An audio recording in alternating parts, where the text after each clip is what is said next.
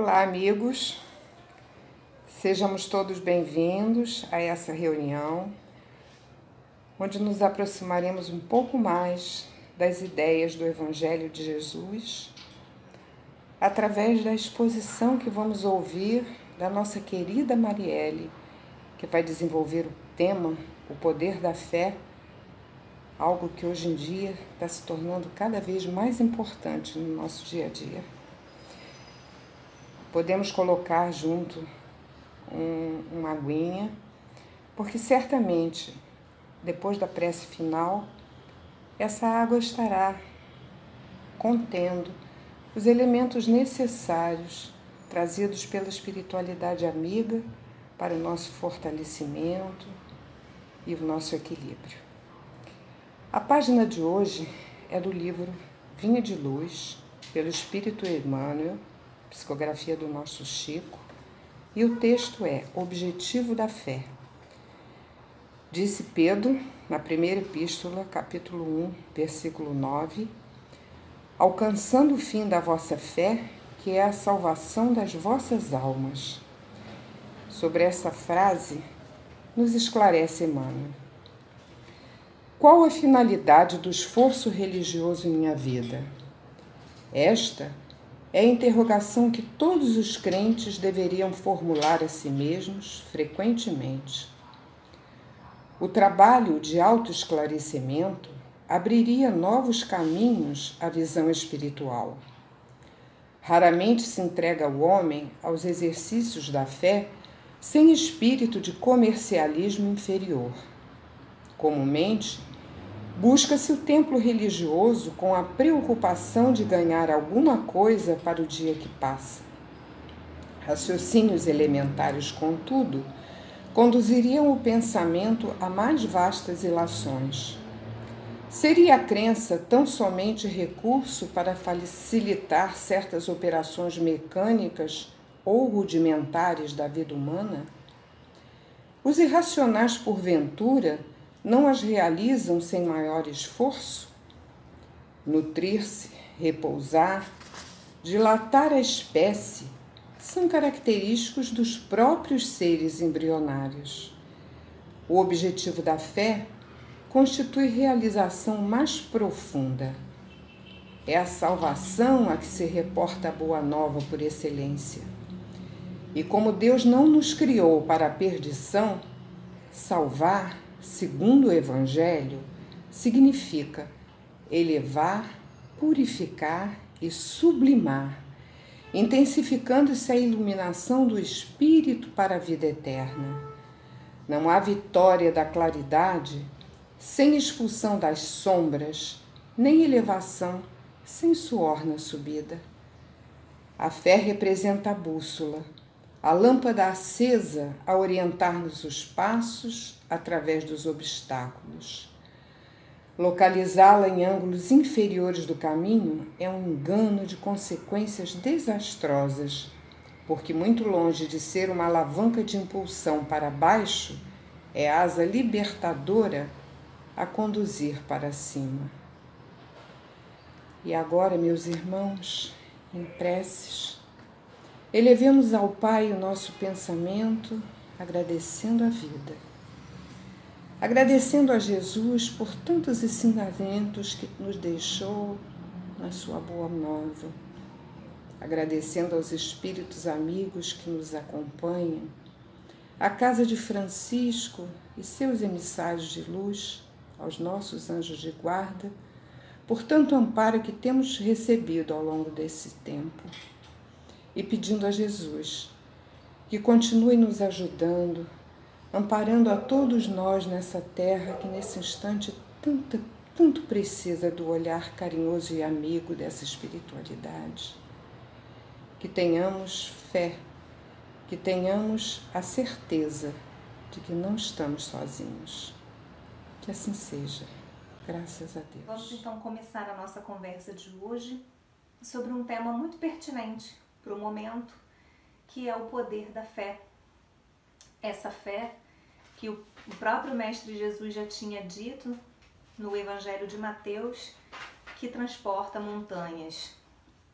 essa passagem da fé que transporta montanhas, né, e o poder da fé está no Evangelho de Mateus, que está no nosso Evangelho segundo o Espiritismo, no capítulo 19. E eu vou pedir licença agora a vocês para ler o trecho do Evangelho, porque eu não seria capaz de reproduzi-lo sem perder né, um tanto da mensagem, então eu vou ler rapidamente. Quando ele veio ao encontro do povo, um homem se aproximou e, lançando-se de joelhos a seus pés, disse: Senhor, tem de piedade do meu filho, que é lunático e sofre muito, pois cai muitas vezes no fogo e muitas vezes na água. Apresentei-o aos teus apóstolos, mas eles não o puderam curar. Jesus respondeu, dizendo: Ó oh, raça incrédula e depravada, até quando estarei convosco? Até quando vos sofrerei? Trazei-me aqui este menino. E tendo Jesus ameaçado o demônio, este saiu do menino, que no mesmo instante ficou são. Os discípulos vieram então ter com Jesus em particular e lhe perguntaram: Por que não podemos nós expulsar os demônios? Respondeu-lhe Jesus: Por causa da vossa incredulidade. Pois em verdade vos digo: se tivesseis a fé do tamanho de um grão de mostarda, dirias a esta montanha: Transporta-te daí para ali, e ela se transportaria, e nada vos seria impossível. Então vamos começar nossa reflexão justamente nessa passagem uma passagem em que, para nós espíritas, podemos depreender, tratava-se de um menino em forte processo, né, provavelmente obsessivo, talvez até de subjugação, em que seu pai, já né, em estado de desespero, procura o mestre, inicialmente procura os seus discípulos, que não o conseguem curar, e o mestre, então, com uma certa firmeza, após conseguir afastar, né, pela sua magnitude, sua envergadura moral, esse mau espírito do menino, diz aos seus discípulos que eles não puderam efetuar a cura por falta da fé, porque a fé seria capaz de transportar as montanhas. Essa, essa passagem, ela é inclusive mencionada em outros evangelhos também, de Marcos, de Lucas, tamanha relevância que essa, essa passagem tem. E Jesus, sempre muito didático, o que, que ele quis dizer né, com uma passagem como essa? Uma fé do tamanho de um grão de mostarda, o menor grão que a gente conhece à disposição da natureza, ou seja, sinalizando para a gente que a nossa fé é muito diminuta e que a nossa fé é capaz sim de fazer tanto quanto, ou como depois mesmo ele disse, mais do que ele. Então a gente vai começar agora a estudar exatamente a palavra fé. A palavra fé tem origem no latim, ela vem de fides, que significa fidelidade. Então, fidelidade é a palavra que melhor define fé, muito mais do que o acreditar, que popularmente é o que nós vemos associada à palavra fé. E fidelidade nos remete a relacionamento. Né? Todo relacionamento, para ser um bom relacionamento, ele depende do elemento fidelidade. Então, ter fé é ter um relacionamento fiel com Deus. A gente já pode sair então daquela definição comum de fé, de um acreditar ou de ter uma expectativa de para uma relação de fidelidade para com Deus relacionar-se, né, ter um relacionamento, é, nós sabemos pela nossa vivência né, aqui no planeta Terra, é você saber que muitas vezes não é a sua vontade que vai prevalecer. Porque um relacionamento não é feito só de uma pessoa que faz prevalecer a sua vontade. Principalmente quando a outra parte desse relacionamento é Deus, nosso Pai Criador. Então a gente já se coloca numa posição de ser criado por Deus, que se relaciona com fidelidade para com Ele e que sabe que é a sua vontade que prevalece sobre as demais. E então, é, podemos lembrar também de uma outra passagem do Evangelho, depois do batizado de João, por João Batista, que ele passa aqueles 40 dias no deserto. Né? E nessa passagem, depois de um longo tempo no deserto, Jesus já cansado, faminto, sedento, começa a passar por um momento de grande dificuldade no deserto. Quando aparece a figura né, que se chamam de o demônio, o diabo, a tentação, que é a passagem das tentações de Jesus. E então, aproveitando-se de um momento de fraqueza, esse espírito de envergadura inferior dirige-se a Jesus e diz: Por que não sobes nessas pedras e se atira do despenhadeiro? Certamente, se tu és o filho do homem, ele irá mandar os anjos te resgatarem. E Jesus, apesar de todo o seu sofrimento, consegue manter a sua mansuetude, a sua fé no seu Pai e diz: Não tentarás o Senhor ao teu Deus. E por que trazemos essa passagem nesse momento? Porque essa passagem mostra o nível de relacionamento de fé de Jesus com Deus. Ele sabe que num relacionamento pautado na fidelidade e na fé, não tem por que haver testes, ele não teria por que testar Deus para se jogar de um despenhadeiro para provar que ele seria salvo. Né? Não é esse tipo de, de relacionamento aquele pautado no amor divino e na fé. Que quando esse relacionamento verdadeiro, fiel existe, não há necessidade de se ficar fazendo esse tipo de teste. Por isso que Jesus é o nosso modelo e guia e não poderia deixar de ser quando o assunto é a sua fé. Ele sim já tinha conquistado a fé inabalável, que é aquela que nós estamos, temos lá no final da nossa caminhada como nosso propósito, nosso ponto de chegada. Então, ter fé é mais do que acreditar. Ter fé é saber. Saber que Deus existe, saber que nossa vida está em suas mãos. E quando a gente fala em saber, a gente fala no sentido de ter essa sensação realmente é, consolidada na gente. Um exemplo, né? Muitos perguntam para nós espíritas: ah, vocês então acreditam na reencarnação? E dá para responder que não. Eu não acredito na reencarnação. Eu sei que a reencarnação existe. Porque nós já nos sentimos perfeitamente convencidos e internalizados através das informações dos espíritos e das inúmeras provas que já tivemos de que a reencarnação existe, de que a reencarnação é um fato.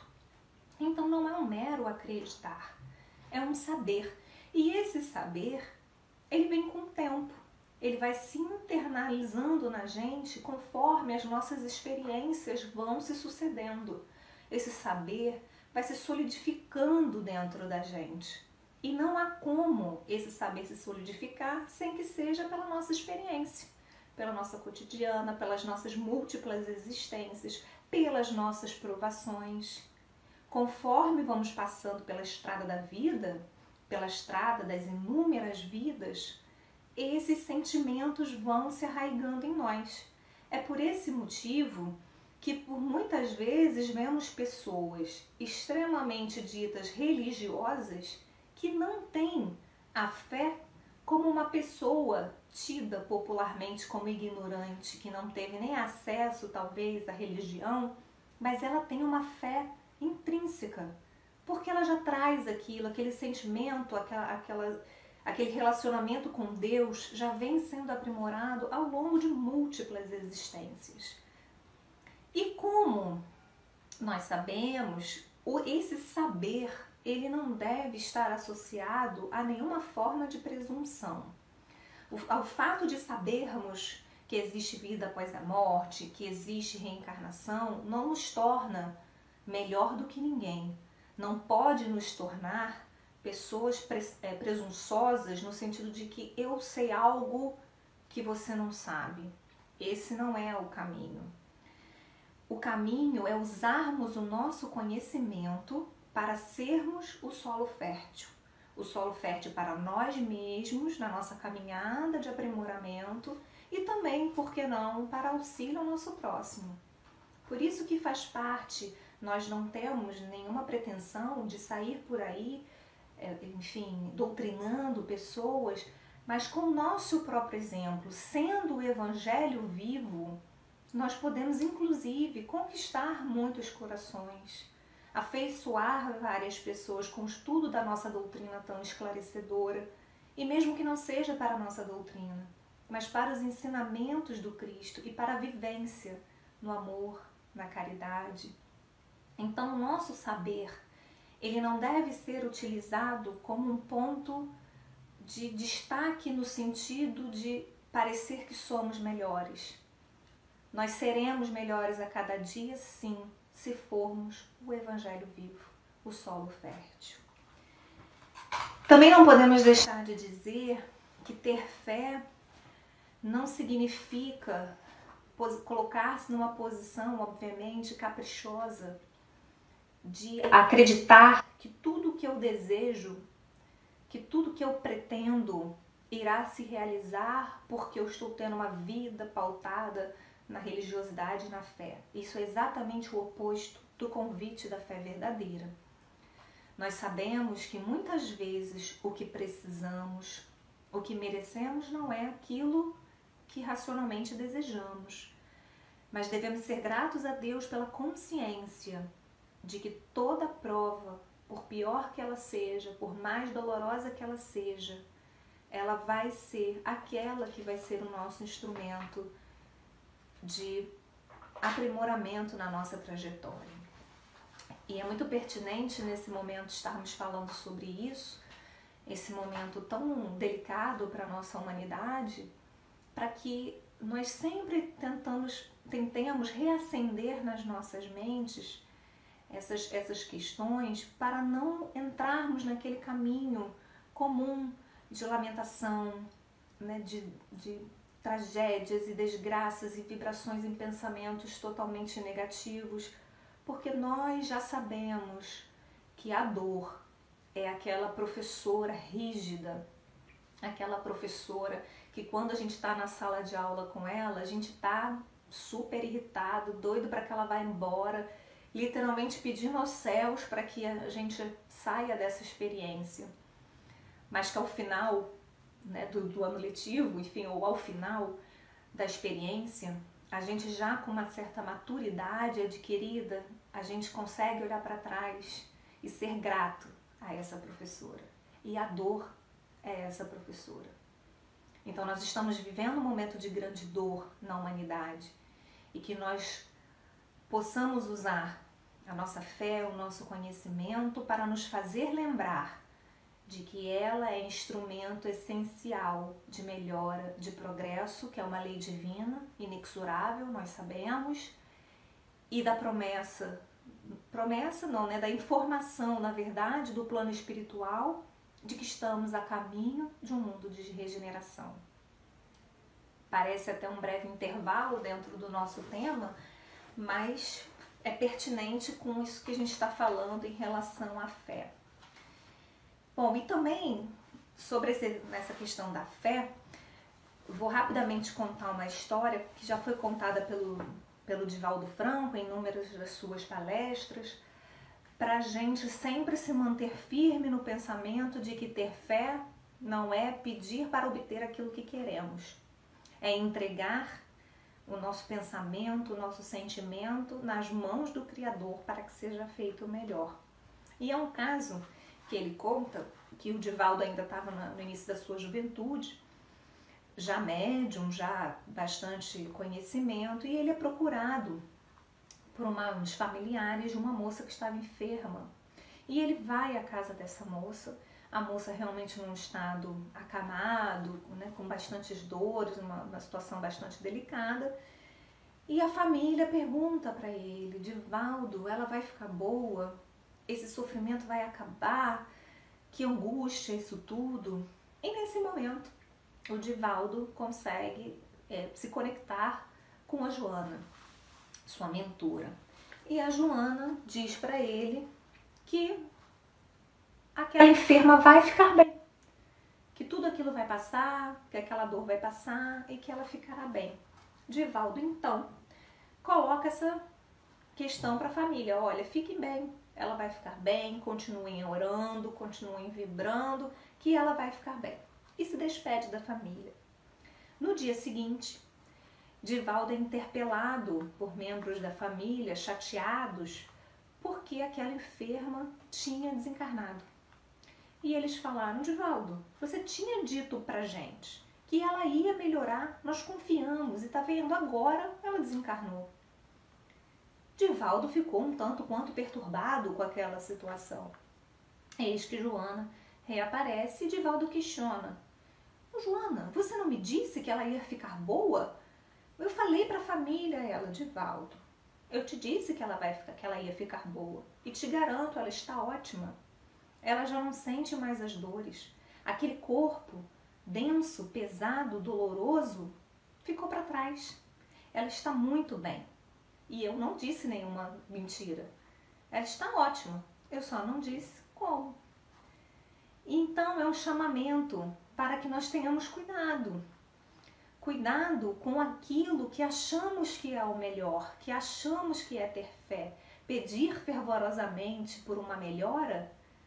Podemos pedir, claro, devemos, mas no sentido de pedir sabendo que aquela oração, cheia de amor, cheia de boas vibrações, é uma entrega na mão do Divino Pai, para que Ele dê o destino adequado. E não podemos nos esquecer como neste caso a dor, o sofrimento acabou, porque a vida continua e ela continuou muito bem e muito melhor do que estava naquela oportunidade. Portanto, meus amigos, a fé vem intimamente ligada a uma outra virtude que Jesus muito nos ensinou, que é a humildade. Porque quando temos a humildade no nosso coração, sabemos que nessa relação com Deus, a nossa confiança com relação à Sua vontade deve ser absoluta. Como falamos, é internalizar a certeza de que nesse relacionamento a minha entrega é para o meu Pai. Bom, então voltando à passagem que começamos no nosso estudo, Jesus disse aos apóstolos que se eles tivessem a fé do tamanho de um grão de mostarda, eles poderiam dizer a essa montanha: transporta-te daqui para ali, que eles conseguiriam.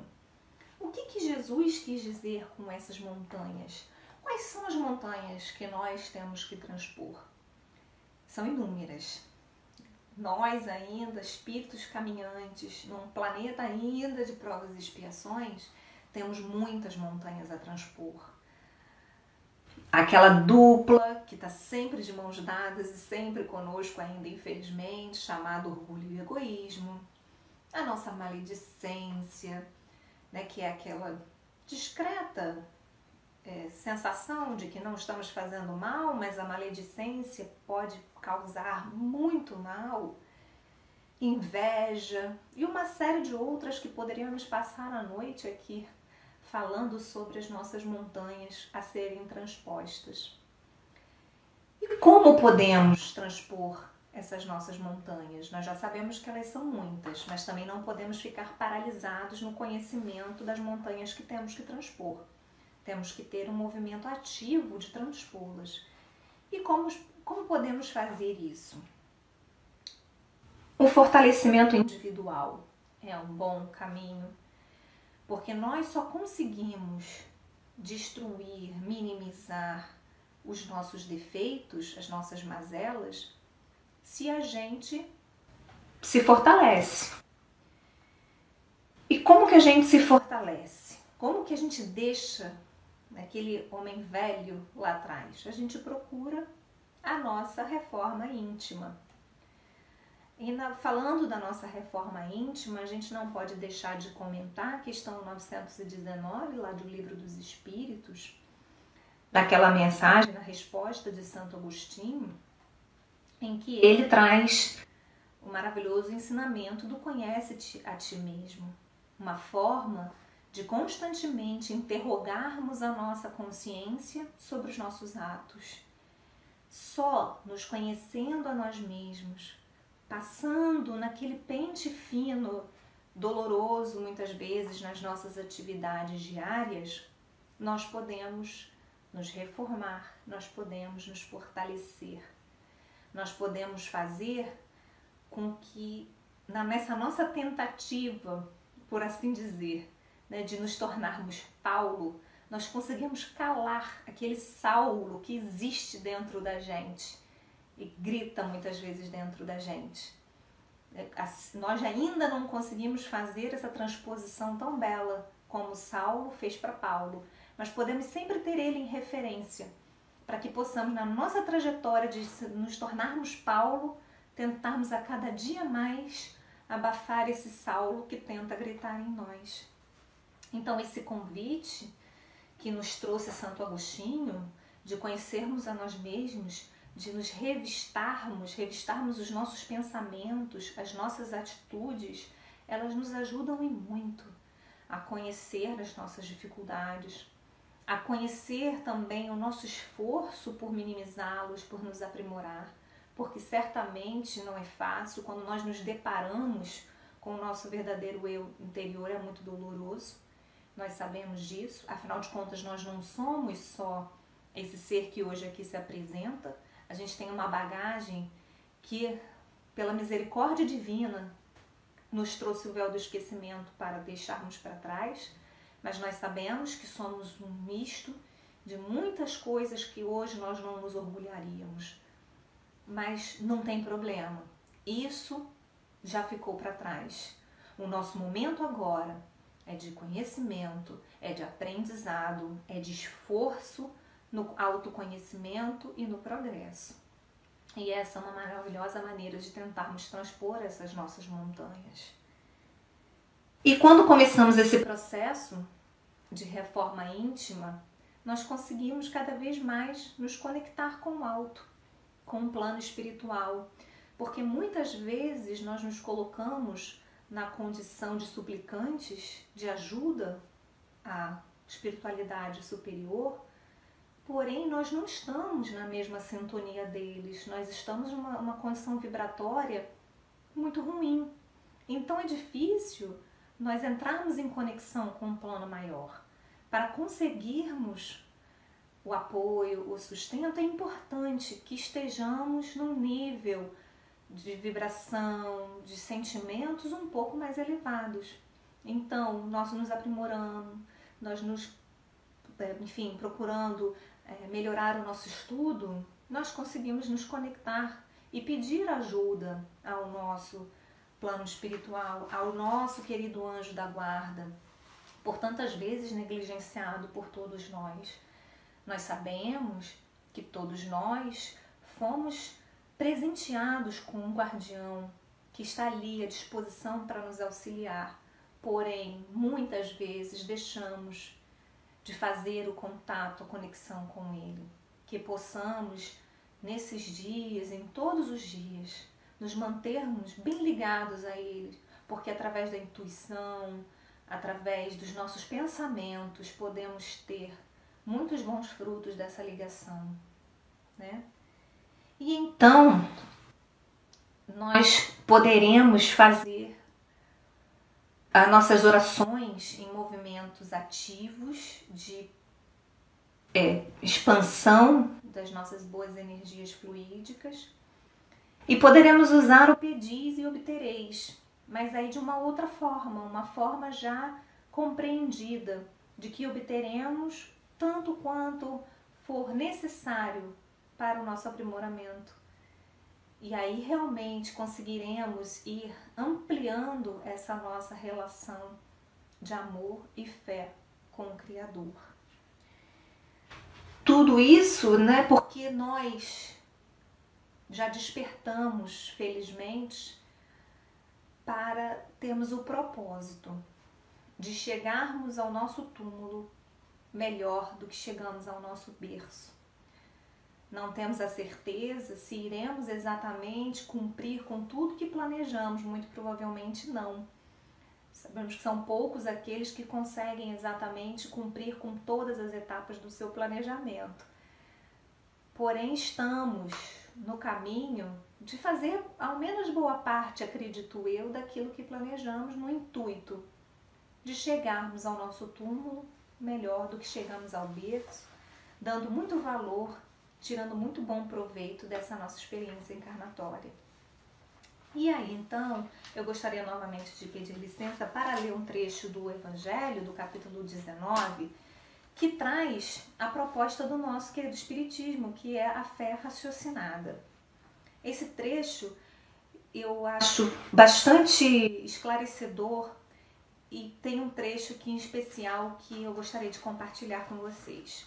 Ele diz assim: A fé sincera e verdadeira é sempre calma, faculta a paciência que sabe esperar. Muito pertinente para o momento em que em casa, isolados, precisamos ter muita paciência para conosco, para com os nossos familiares, nesses momentos de contato intenso. E aí, o Evangelho já nos diz que a verdadeira fé é calma e incita a paciência. Porque, tendo seu ponto de apoio na inteligência e na compreensão das coisas, tem a certeza olha a expressão perfeita, a certeza de chegar ao objetivo visado.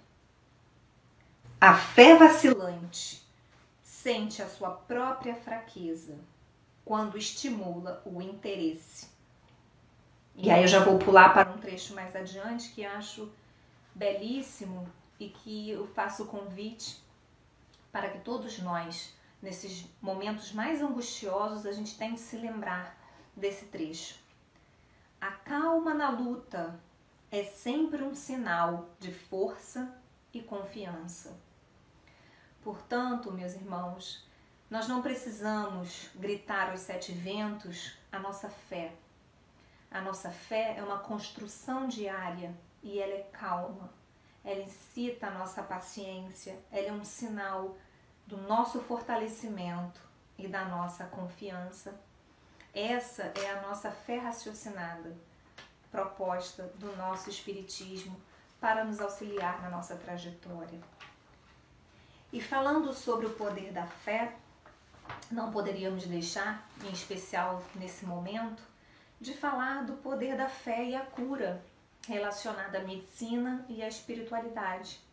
Mesmo antes desse momento de pandemia de coronavírus, já existiam inúmeros estudos em universidades de mais diversos pontos do nosso orbe que comprovam o poder da fé na cura de pacientes enfermos. Certamente não estamos falando aqui, até porque seria contra a proposta do nosso Espiritismo, de cura única e exclusivamente pela fé e religiosidade, até porque o nosso próprio Espiritismo já disse que devemos seguir aquilo que a ciência nos traz. Então, em momento algum aqui é preciso fazer esse parênteses, estamos falando né, em desconsiderar aquilo que a medicina nos propõe. Muito pelo contrário, é uma proposta associativa associar a medicina, a, a alopatia, a fé. E nisso, é nessa associação que esses estudos comprovam os efeitos extremamente positivos nos quadros clínicos. E por que isso? Bom, lá no livro dos Espíritos, vem a explicação trazida pelos Espíritos através do nosso Allan Kardec, que existem três elementos no nosso universo: Deus, Espírito e matéria.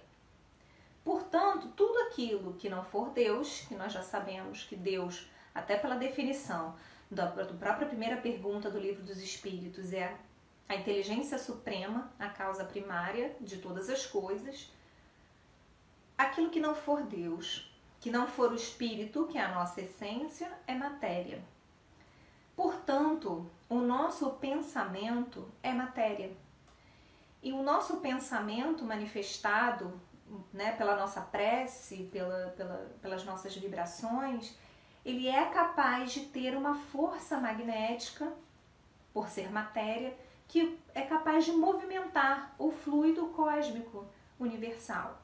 E é por isso que o pensamento, a fé, as vibrações, elas têm verdadeiramente o poder curativo, porque são matéria. São matéria como, claro que muito mais fluida né, e diferenciada do que a matéria dos medicamentos produzidos, mas ela é matéria também.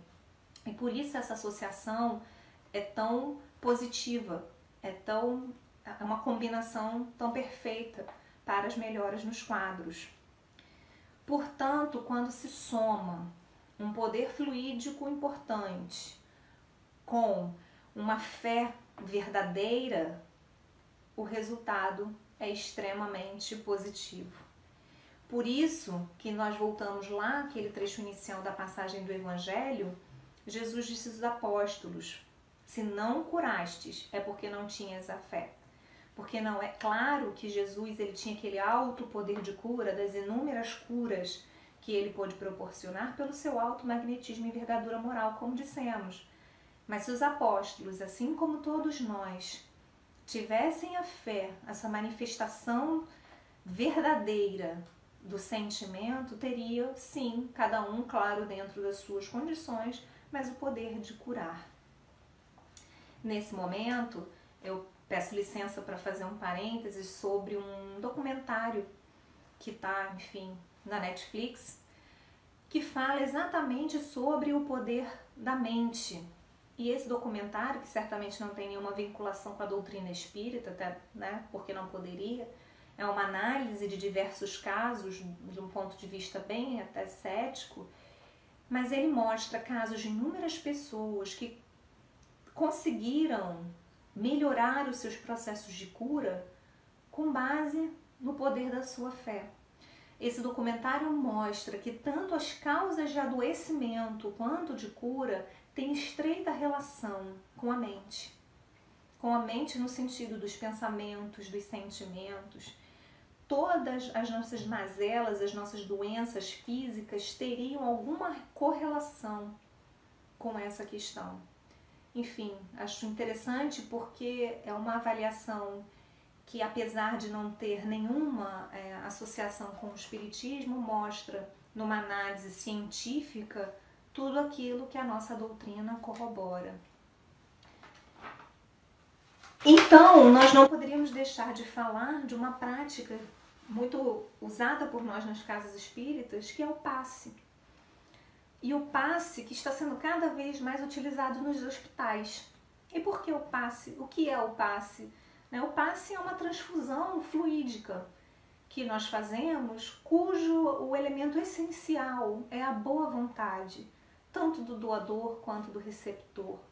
É a conexão com o plano maior, é a permissão que nós nos damos de ser canal, de ser instrumento dessa transfusão de fluidos, dessa matéria benfazeja. E também esses estudos vêm provando já há alguns anos os efeitos positivos e por isso então cada vez mais temos visto os passes nos ambientes hospitalares. Então, neste momento que estamos vivendo, claro que em muitas circunstâncias não será viável estarmos né, fisicamente, enfim, em pessoas em condições de ministrar o passe, mas nós sabemos o quanto ele pode auxiliar e o quanto as nossas orações verdadeiras e baseadas na fé podem auxiliar esses nossos irmãos que estão agora em leitos hospitalares experimentando essa prova. Portanto, nós podemos chegar à conclusão de que a mente sã, ela consegue proporcionar um corpo são.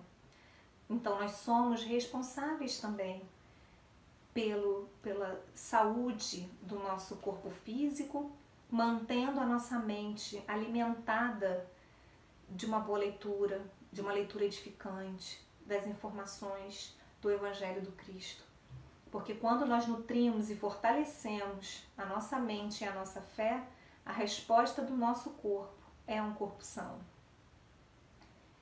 Mas também é importante ressaltar que ter fé não significa que não teremos problemas e nem doenças.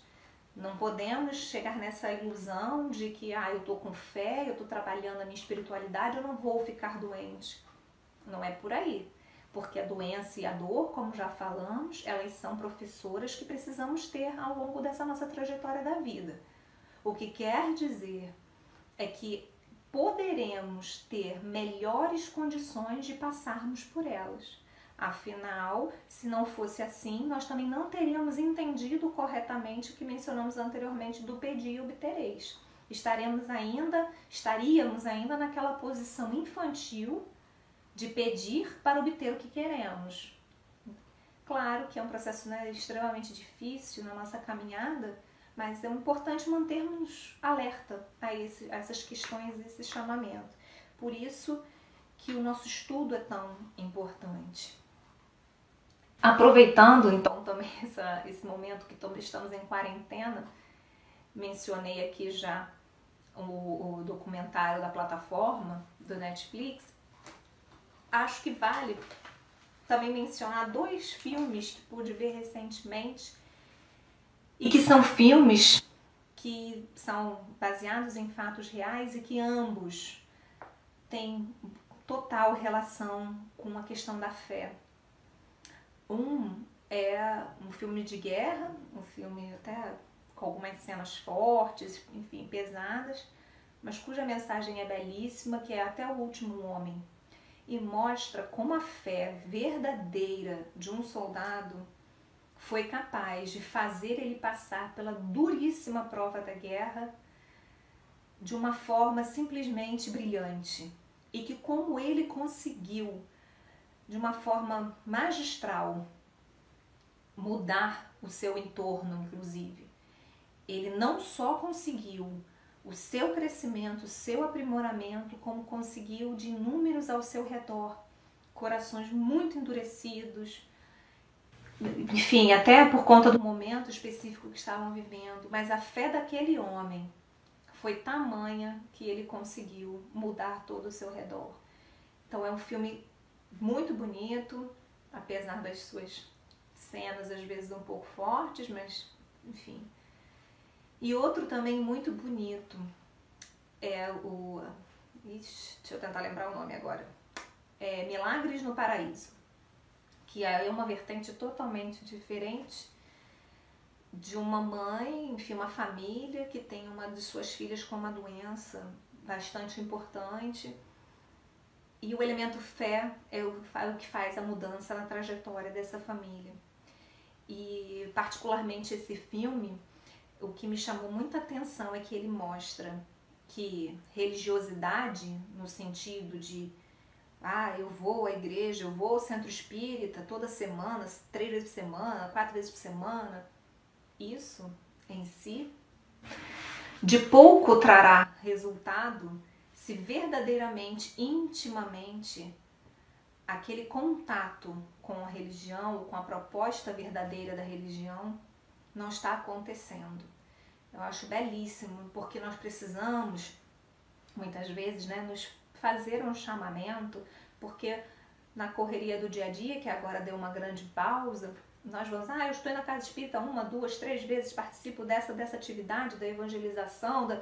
então tô, tô bem. Não, posso não estar nada bem. Porque se não estamos fazendo essas atividades com a verdadeira doação, com o verdadeiro envolvimento e conexão, é um trabalho muitas vezes braçal, que não deixa de ter seu valor, mas não produz então, todos os efeitos que poderiam produzir. E como então nós podemos fortalecer a nossa fé? uma pergunta né, que a gente se faz. Eu preciso tanto fortalecer a minha fé. Acreditamos que uma forma é o estudo. Né? Porque quando temos acesso às informações, nós conseguimos, e a nossa doutrina espírita ela tem essa, essa maravilha à nossa disposição, Ela traz o conhecimento de uma forma bem científica, bem clara. Então, quando a gente tem acesso ao conhecimento, fica mais fácil da gente ir se auto convencendo, se auto ajustando. Né? O estudo é de extrema importância para o fortalecimento da nossa fé. O estudo associado ao nosso comprometimento em transformar aquele estudo em ação. Certamente, o estudo sem essa proposta de colocar em movimento, ele não terá todo o resultado que deveria. Nós devemos fazer o esforço de ser a cada dia, nem que seja um pouquinho mais, porque somos seres em evolução, mas um pouquinho mais exemplo vivo daquilo que estudamos. Então, qual seria essa forma? Uma forma inicial de extrema relevância. O trabalho no bem. O trabalho no bem que pode ser da forma mais singela a uma forma mais, enfim, mais complexa, vamos dizer assim. Nós temos a bênção na casa espírita de termos várias linhas de frente de trabalho. Certamente o GEPAR tem várias atividades e que está, estará quando isso tudo terminar de portas abertas para novos tarefeiros, prontos a arregaçar as mangas e à luta. Mas nesse momento específico que vivemos, nós podemos trabalhar no bem, muitas vezes pegando um telefone e ligando para um familiar, por um companheiro, para um amigo, para nos colocar à disposição, para ouvir, para trocar, para dar um aconchego, para dar aquela palavra de alento que esse irmão necessita nesse momento de dificuldade, nesse momento de isolamento. Então, nós não devemos considerar esse momento de quarentena como de abstenção do trabalho, muito pelo contrário. Muito trabalho produtivo, positivo pode ser feito nas nossas preces verdadeiras e sinceras por todos aqueles que estão passando pelas dificuldades, para os, enfim, médicos, equipes dos hospitais. Nós temos muito a trabalhar neste momento. E caminhando já para o nosso final, eu queria terminar com uma, uma historinha bastante singela, porque a ideia é exatamente demonstrar que não, não são necessários atos grandiosos para que a nossa fé seja robustecida e seja evidenciada. E a história de um, enfim, uma, uma quantidade de pessoas que está dentro de um avião. Eles estão numa viagem, o avião entra numa zona de forte turbulência. Um momento bastante desagradável. Né? Eu, então, particularmente, confesso que acho bastante desagradável. E aquele momento de turbulência começa a angustiar todos os passageiros e tripulação. E um senhor que está bastante agoniado olha para o lado e vê um rapazinho, um menino, tranquilo, calmo, lendo seu livrinho como estava, ele continuava. E aquela turbulência se estendia, o comandante pede por favor a todos que apertem os cintos, inclusive a tripulação, e aquele momento de angústia começa a se intensificar. E o, menino continua sereno, lendo o seu livrinho, o que causa bastante curiosidade né, naquele passageiro que estava muito nervoso, como todos os outros. Por que, que aquele menino não estava? E assim fica por alguns minutos a mais, quando finalmente a turbulência passa, tudo se acalma e então o Senhor, que estava curiosíssimo, vira para o menino que estava próximo a ele e pergunta: Menino, você não tinha medo daquela turbulência? Eu observei, em momento nenhum você se, mostrou preocupado. E o menino, com a mesma serenidade, disse para ele que não, eu estava tranquilo realmente. E aí o Senhor pergunta: Mas como é capaz de ficar tão tranquilo diante de uma situação dessas? E o menino olha sereno para o Senhor e responde: O meu pai é o comandante deste avião. Eu sabia que ele daria conta de tudo. Então, meus irmãos, é assim que devemos nos sentir, porque na verdade, a todo momento estamos como esse menino, numa uma uma, num avião, numa aeronave, em que o comandante dela é Deus nosso Pai. Então, o que havemos de temer se é Ele que está a todo momento no comando? Então, para finalizar essa nossa conversa, eu gostaria de compartilhar com vocês uma leitura que achei muito bonita de uma mensagem psicografada pelo Chico Xavier, do espírito Meimei, que está no livro, a mensagem intitula-se Confia Sempre e está no livro Cartas do Coração. A mensagem é a seguinte: Não percas a tua fé entre as sombras do mundo. Ainda que os teus pés estejam sangrando, segue para frente, erguendo-a por luz celeste acima de ti mesmo. Crê e batalha. Esforça-te no bem e espera com paciência. Tudo passa, tudo se renova na terra, mas o que vem do céu permanecerá. De todos os infelizes, os mais desditosos são os que perderam a confiança em Deus e em si mesmos. Porque o maior infortúnio é sofrer a privação da fé e prosseguir vivendo. Eleva, pois, o teu olhar e caminha. Luta e serve.